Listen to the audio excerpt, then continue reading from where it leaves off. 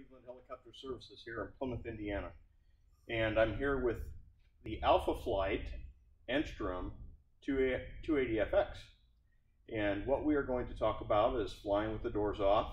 And we'll actually go through a door removal and reinstallation on the Enstrom 280FX. The doors are a little bit different than the uh, F model and the C model. And so it may be interesting to some of you uh, how they actually come on and off. It is important to have a some sort of a rack made up to protect your doors uh, so the paint don't get scratched. Uh, have have a plan of where you're going to store the doors when you remove them from the helicopter.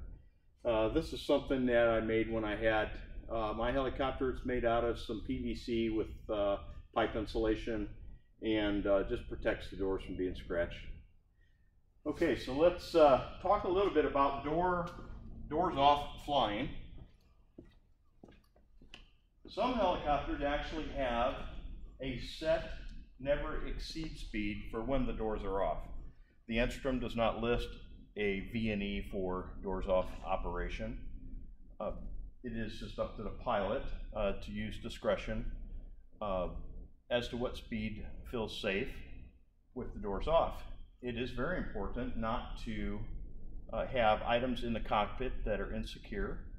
Things to consider would be your VFR paper chart, uh, even your phone on a suction cup near the open door, uh, the POH, the aircraft airworthy certificate registration. Uh, these things can blow out if you haven't uh, given it some thought on how you're going to secure them.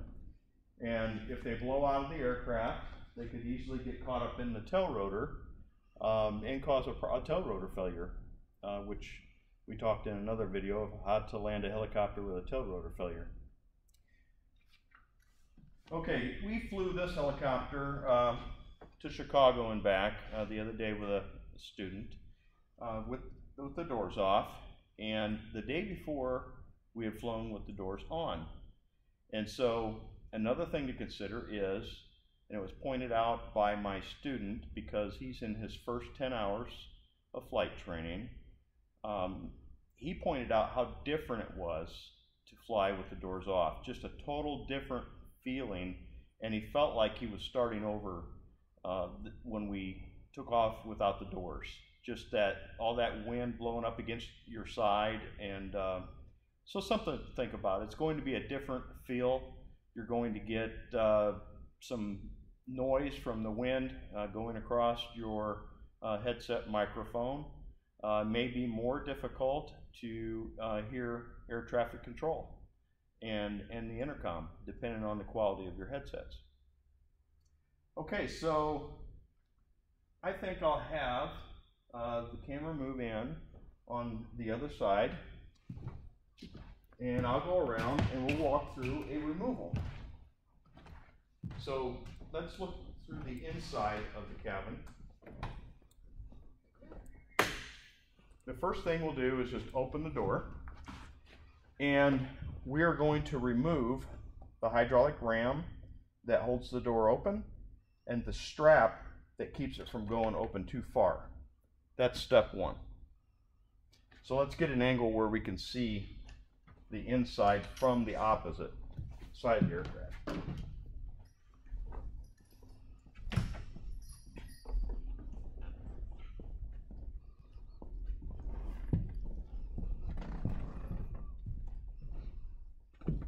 Okay, so the first way to get this process done, the first step to get this process done would be to remove this Phillips screw. That's the strap that protects the door from overextending the ram. The next step would be to use a flat screwdriver or dry uh, pry bar. And you've got a little pin that rotates up off of this hydraulic ram, ball joint. If you can see that. A little bit of prying action pops this off. Helps if you just wiggle the door a little bit. Now, at this point, you protect the ram and you latch the door and come around the other side with the camera.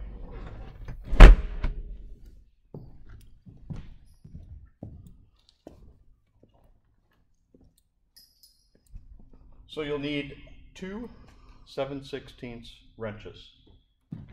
You've got one bolt to remove up here. And it has a nylock nut on it. Once you get past the nylock, you can use just your fingers to remove that.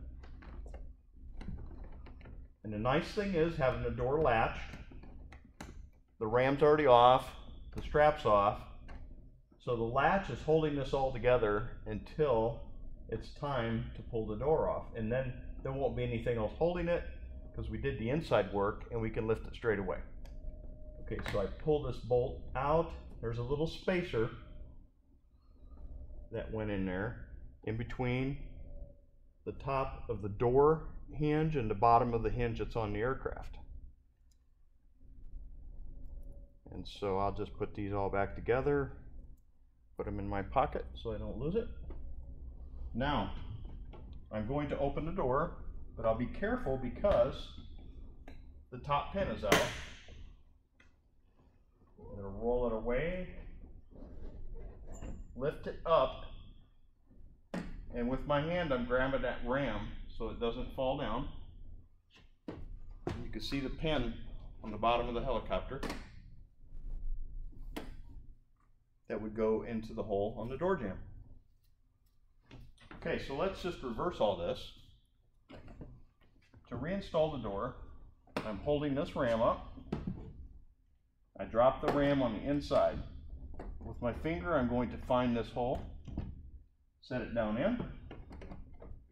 Now I'm going to get the door in the approximate position for closing it.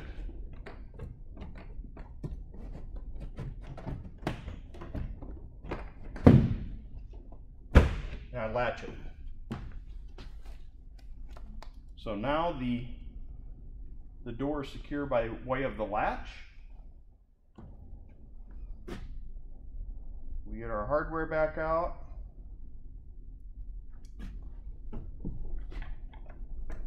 Insert spacer. Add the washer and the locking nut.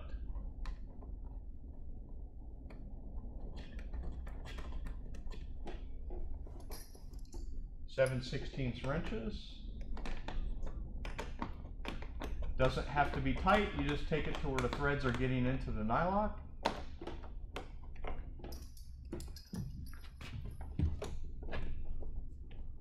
Open the door back up.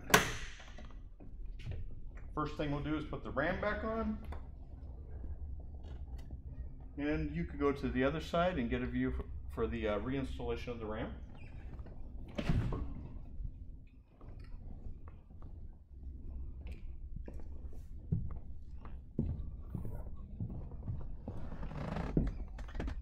Okay, so you have to push the ram in to get the angle right. Lined up with the ball. And it takes some pressure to get it to pop back on there. There it goes. This pin goes in a little bitty hole and rotates down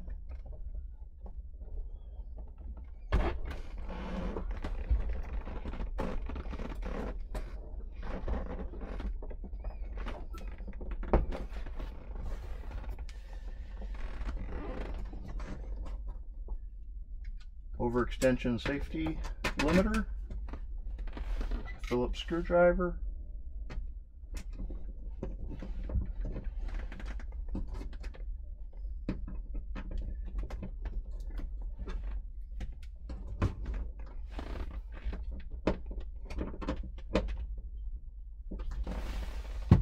and we've reinstalled the door. While we're in the Enstrom here, let's just take a look at the, the controls. Um, the student that uh, I recently had here in his first uh, 10 hour block of Enstrom flying, He uh, had only had a discovery flight of 30 minutes in a Robinson, and the first thing he noticed is the cyclic. Each of us had our own cyclic, and I I believe and he believed that it added uh, to the success of him catching on to the hovering so soon. Uh, the fact that he had his own cyclic, and the fact that the Enstrom is a very stable helicopter with the uh, fully articulated rotor system, and he liked the fact that it has a trim for the cyclic to take the load off wherever the cyclic needs to be. Um, the Robinson R44, what it has is a hydraulic system that makes it easy to push in any direction, but it doesn't hold it in that spot unless it's equipped with uh, a very expensive uh, Genesys autopilot. Uh, the Enstrom, you can actually in cruise flight use this trim to adjust the cyclic to be where it needs to be for the, the flight conditions. And you're not going to fly hands off, but you could easily demonstrate that the aircraft does not need your hand to be constantly inputting on the cyclic once you have it trimmed out. So that covers the Enstrom 280FX uh, door removal, some cautions about flying with doors off, and if you like the video, click the like button subscribe to the channel, click the bell, and you'll be notified about additional training videos uh, in the future. Thank you for watching.